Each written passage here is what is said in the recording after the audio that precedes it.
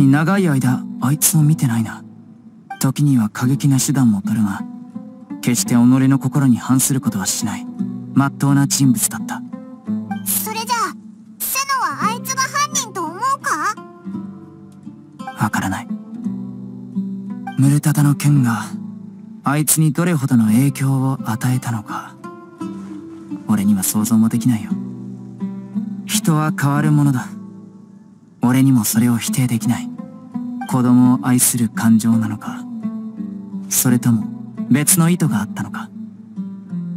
今の彼はどんな人物なのか俺たちは自分の目で確かめるしかない。そう。いずれにせよあいつがこの件に関与し情報があるにもかかわらず報告を怠ったことは紛れもない事実だ。だからこそあいつに会うんだ。理由を聞いて。審判してやる。さあ先を急ごう。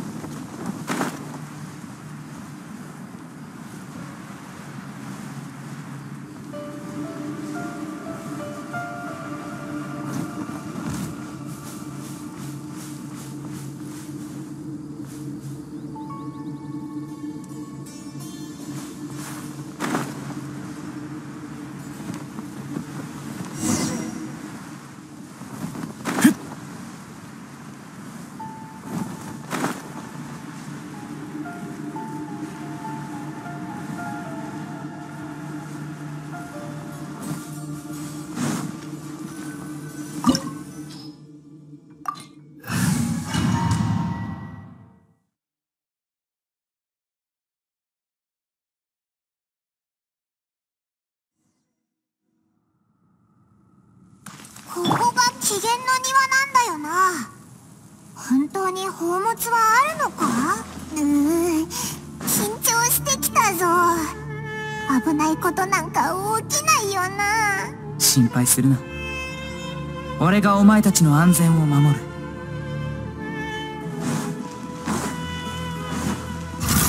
岩山八九。止水の矢。はっや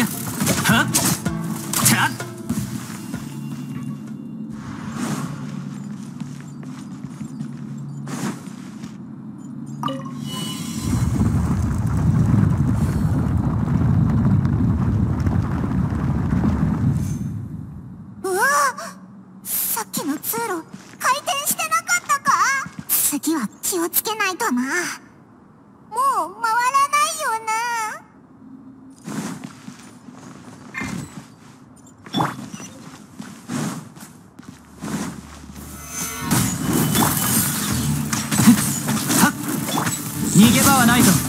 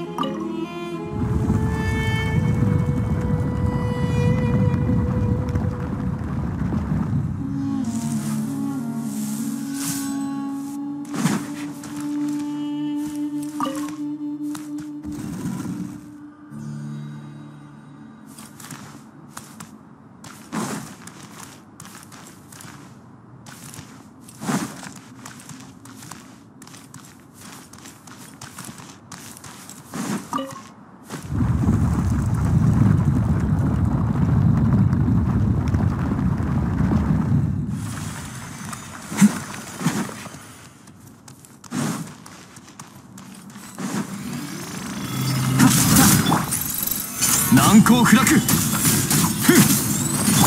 や降伏しろ。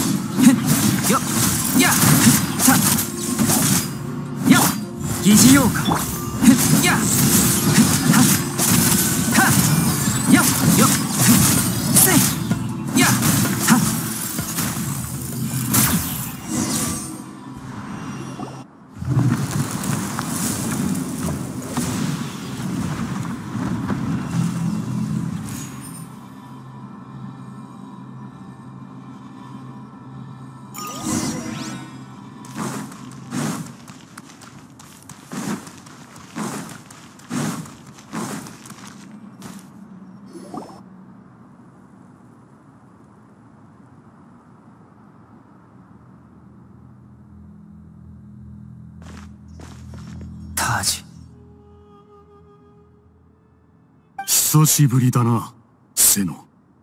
最近どうだ？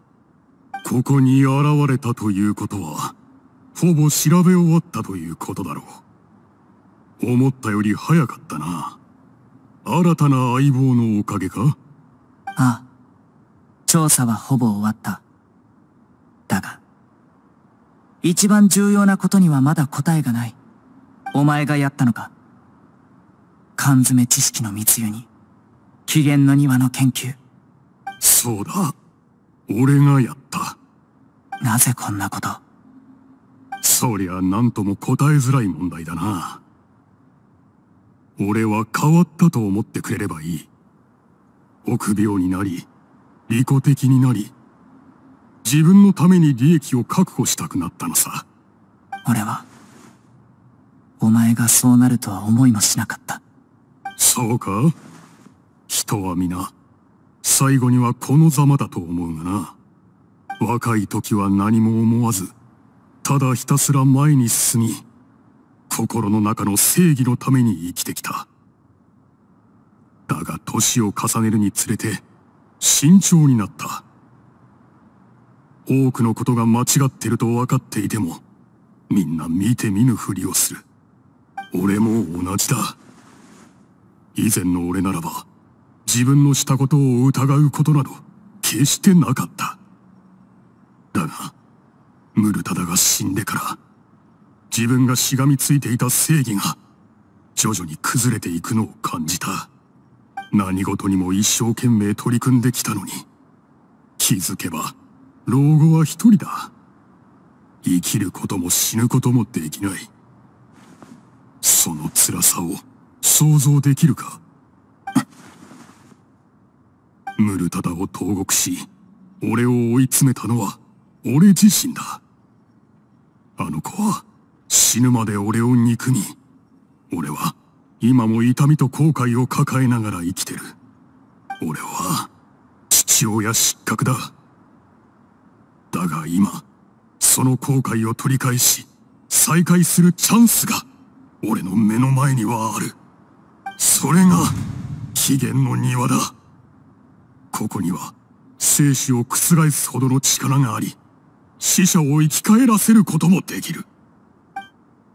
欲しいものは手に入ったか？後ろの扉を見ろ。宝物は、その扉のすぐ向こうさ。もう少しなんだ、セノ。君はこんな時に来るべきじゃなかった。君が来るのが、もう少し遅ければ。もしなんてことがそんなにあるわけがない。起きたことを変えることはできないし、死者を生き返らせる方法などありえない。宝物なんて言われるが、所詮は噂に過ぎないんだ。そんなに自信があるなら、扉を開けてみてもいいだろう。それはダメだ。扉の向こうには危険を感じる。開ければ、取り返しのつかないことになる。元相棒として、最後の願いも叶えてくれないというのか。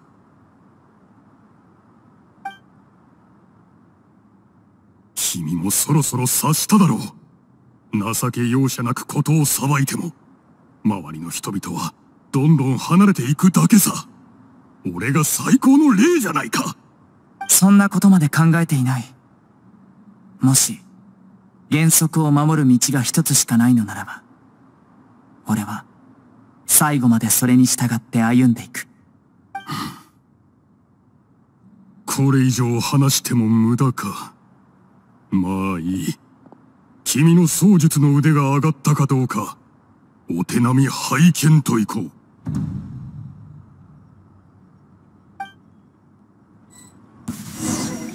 この無意味な抵抗を。合わせてもらおう勝利をしてやる。お前の罪を罪化を断つせい罪を償うがいい。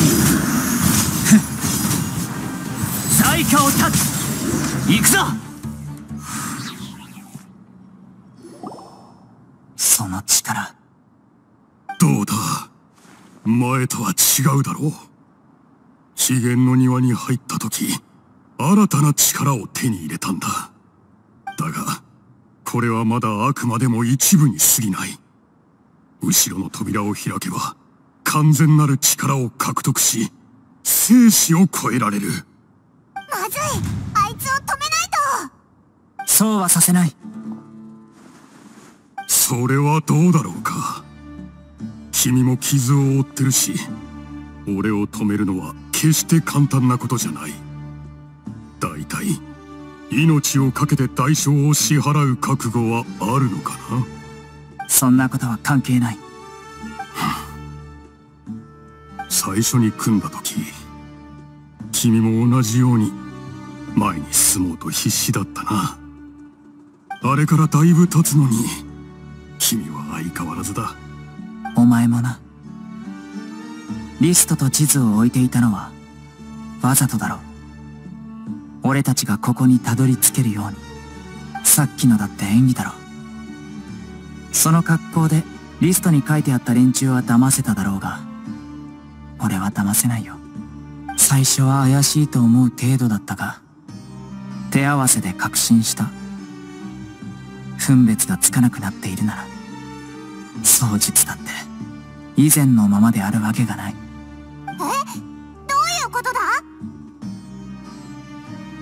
最初からその扉を開くつもりなんてなかったんだ。こいつの真の目的は。でっかい音がしたぞ。何があったんだ？時間があまりないようだ。手短に話そう。ムルタダが亡くなってから俺は長い間落ち込んでいた。現実は悪夢で目が覚めたらまたあの子の見慣れた笑顔が見られるといつも願っていた。そんな時機嫌の庭を探すために俺の力を求める者が現れたんだ。経歴を調べたら巨大な組織が背後にいることが分かった。各業界から来た人たちは欲望に駆られ数えきれないほどのお金をつぎ込んで密かに研究をしていた。機嫌の庭を権限させようと命を捧げたこともあった。道理で機嫌の庭に関する研究を禁止しても次から次に見つかるわけだ。背後に手引きしてる奴がいるんだな。俺は頑固な石じゃない。当然迷ったよ。ムルタダが戻ってくることを期待しながら理性がそうしてはいけないと叫んだ苦悩に苛まれていた時ふとある考えが浮かんだ。起源の庭。人の心を惑わすこの場所は数百年も昔から悲劇を生み続けてきた。この場所が存在する限りムルタダのようにそれを求めたばかりに代償を払う者はこの先何世代も続くだから流砂の中に永遠に埋めてしまおうと思ったのさ。起源の庭がなくなればそれに執着する人もいなくなるはずだそうだ信仰が崩れ去ったように見せかけたのは奴らが何の疑いもなく俺と手を組むようにだそれを利用し起源の庭を探し出して破壊しようと思っただがそれで終わりじゃないその組織を審判する信頼できる者を探す必要がある。氷霊院は紀元の庭に関する研究を禁止してるから俺の計画を初めから認めてくれないだろう。それに組織の勢力はかなり大きい。教霊院の中にも奴らの仲間がいる。手っ取り早く奴らを取り除くには教霊院だけに頼るわけにはいかなかったんだ。だから黒幕のふりをして俺の心を試したのか？すまなかった。だが安心したよ。君は人当たりの良い人になっちゃいなかった。相変わらず大胆不敵で誰にも屈せずにいるとはね。ここはもうすぐ崩壊する。君たち早くここから離れなさい。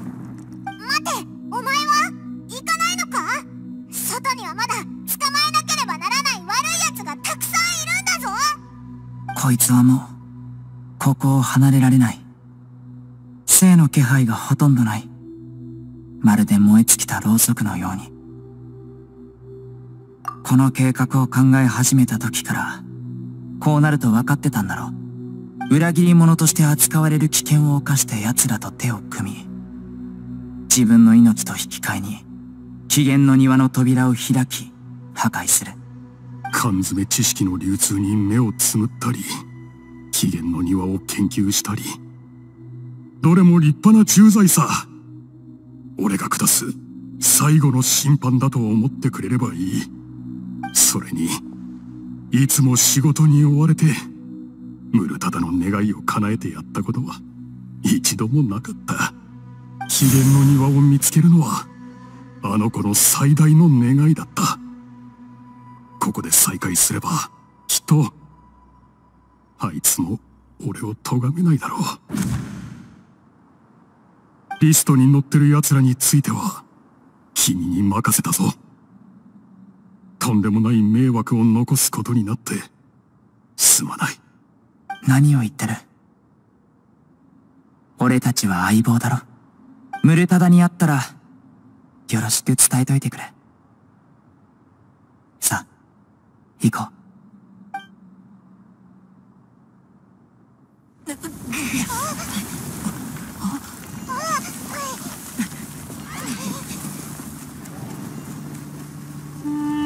パパどうしてみんな僕に厳しいの？一緒にサボってても？叱られるのはいつも僕だけ。構わないでよ。父さんの評判を落とすようなことはしないから。分かった和解しよう。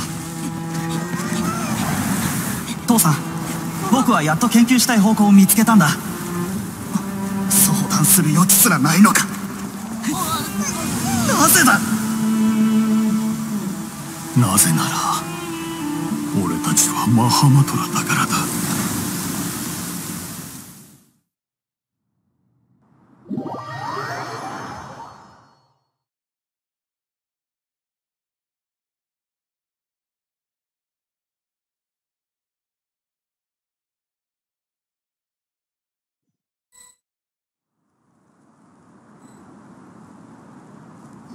機嫌の庭タージの言っていた通り紀元の庭は多くの災難と悲劇を生んでいた。流砂に埋もれるのはあるべき結末だろう。紀元の庭だろうが他のことだろうが利益さえあれば奴らは教霊院の禁令を気にも留めない。危険な研究を利用して高い利益を得るのが奴らの目的だ。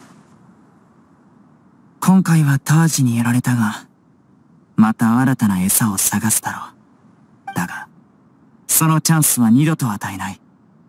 オイラたちも手伝うぞありがとう。だがもう十分やってもらったよ。残りは俺に任せてくれればいい。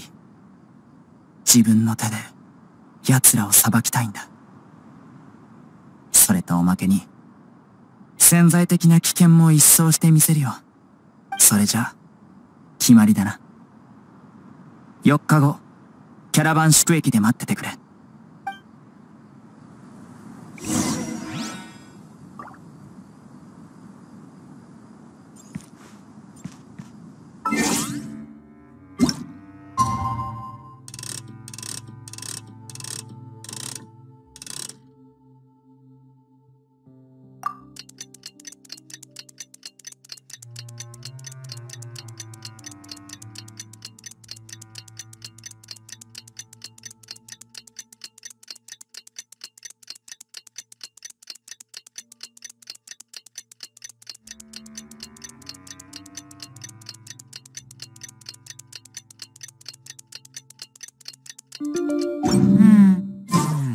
の辺りに戦いがい。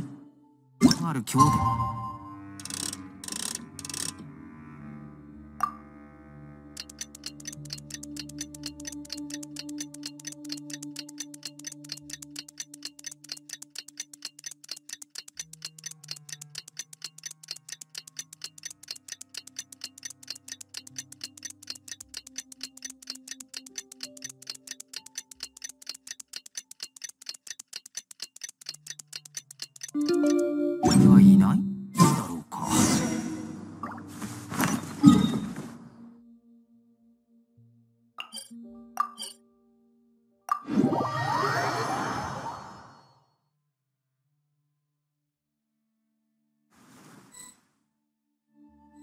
またお会いしましたね。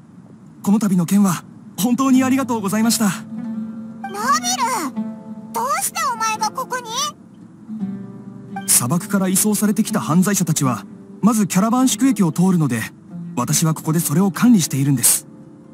これが最後ですので移送が終わり次第また教令院に戻ります。それはもう手に汗握る数日間でしたよなんとかやっと事件の幕が降りてよかったです。はじめリストに載っていたいくつかの傭兵団は共倒れ覚悟で様々な襲撃を仕掛けてきて真実を隠蔽しようとしました。でも瀬野先輩が砂漠を横断し一晩で彼らの拠点を一掃したと聞きました。その後リストに載っていた他の人々も教令員の幹部たちに圧力をかけ始めてパニックに陥り事件の調査が一時的に滞りました。それでそれで？そこにタージ先輩が犠牲になったという知らせが入りみんなの感情が一瞬にして爆発したんです。それをきっかけにマハマトラたちは力を合わせて内部を粛清しリストに載っている全ての学者を逮捕しました。教令員から逃げ出した者もいましたが逮捕される運命を変えられはしませんでした。スメール各地に散らばった者たちは全員傭兵団を潰したスノ先輩に身柄を拘束されたというわけです。聞いた話によるとあと少しでフォンテーヌへ逃げ出せたという者までが国境近くで連れ戻されたらしいですよ。300名以上が投獄され尋問された衝撃はまさに皆を震撼させました。セノの様子はどうだ？怪我したりしてないか？大丈夫そうに見えましたが実際のところは誰にも分かりません先輩一人で300名以上の罪人を裁きました。中にはかつての仲間も多くいました。今では悪い人だけではなく私たちも背の先輩を見かけるとなんとなく緊張してしまいます。まあ先輩の前では緊張しますし自分が悪いことをしていないか無意識に反省しちゃったりもしますが心の中ではいつも先輩を誇りに思っています。そういえば先輩に会いにいらっしゃったんですか？先ほど見張り中先輩に似た後ろ姿を見ました。知らない人と一緒に歩いていたようですがあっという間にどこかに行ってしまわれて。もし背の先輩を見かけたらよろしくお伝えください。わかったぞ。ナビルも悪い奴を逃がさないよう気をつけろよな。ええご安心を。また今後も何かあればいつでも教令員に会いに来てくださいねそれでは私はこれで。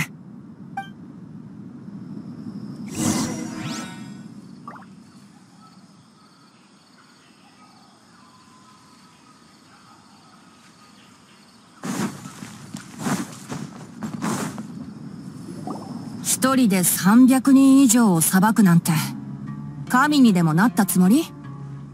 いずれにせよ最適な方法だったとは言えないな。尋問する時に思ってもみなかったことを知った。ムルタダ・ラドカニが機嫌の庭に興味を持つようになったのは誰かに惑わされたからだったんだ。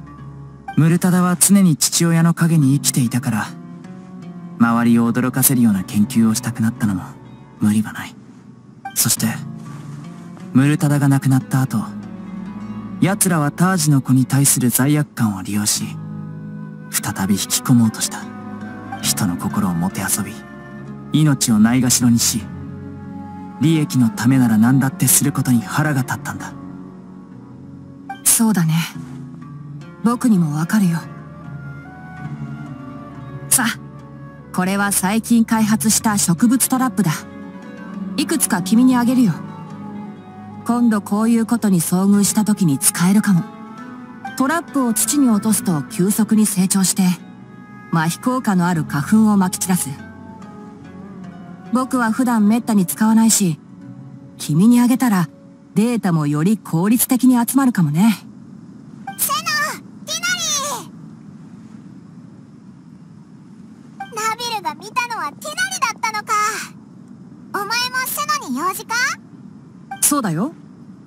セノに頼まれて市民って女の子の病気を治すために薬草を集めてきたんだ。ついでにこいつの怪我の様子も見に来た。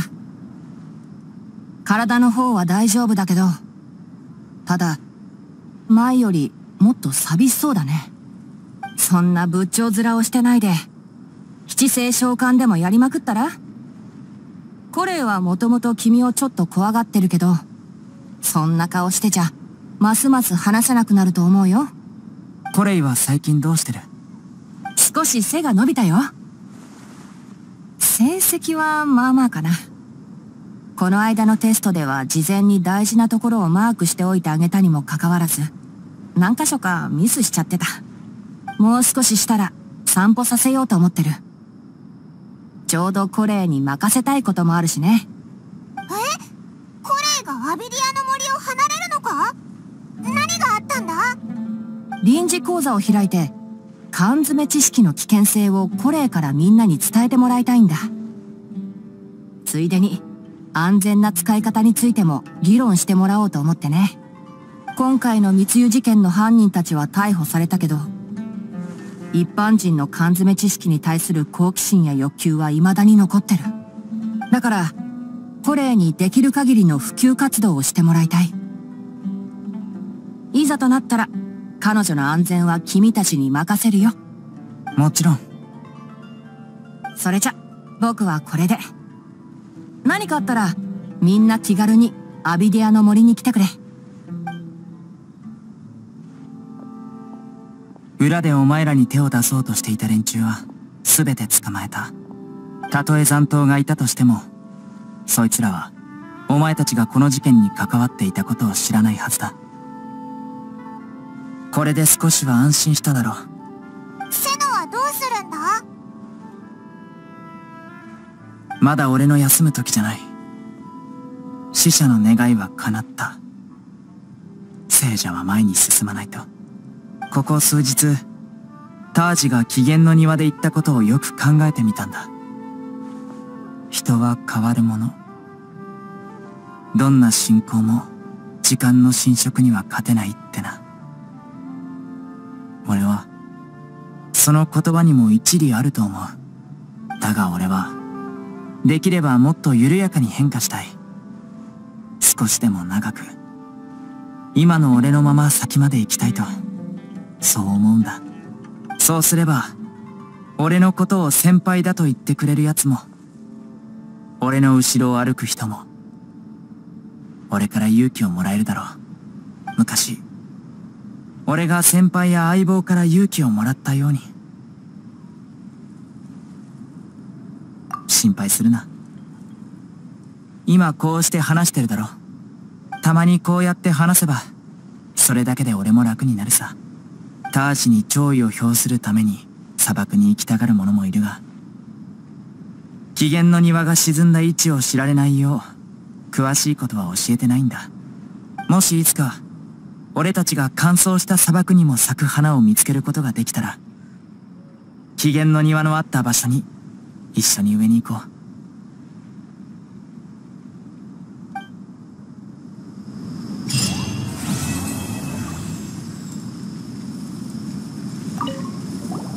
そういえば最近妙なことが起きてな。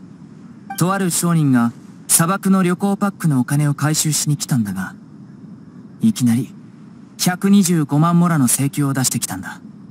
借金した覚えはないし金額もはるかに市場価格を上回っていたから挑発行為を理由に商人を監禁したんだが。お前ら何か心当たりないか？